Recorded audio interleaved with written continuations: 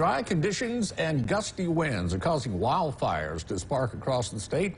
In the past 24 hours alone, Mississippi fire crews have suppressed 88 wildfires. And the largest fire in the state right now is up in northwest Rankin County near Goshen Springs. According to the National Weather Service, the fire has spread to more than 1,000 acres, but crews have it about 90% contained. And while tomorrow's storms will temporarily stop the dry and windy conditions, they're expected to return again this weekend.